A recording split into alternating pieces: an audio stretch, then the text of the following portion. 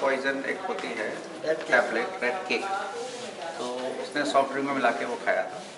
अभी उसकी हालत स्टेबल है एंड तुरंत जो भी उसका फ़र्स्ट एड होता है वो हमने किया यहाँ पे। एंड अभी पूरी तरह वो होश में है। सर किस समय आया था यहाँ पर हॉस्पिटल करीब एक बजे करीब आया सर उसके लेकर पुलिस लेकर आई थी प्राधिकरण पुलिस साथ में आई थी प्राधिकरण के भी कुछ लोग आए थे।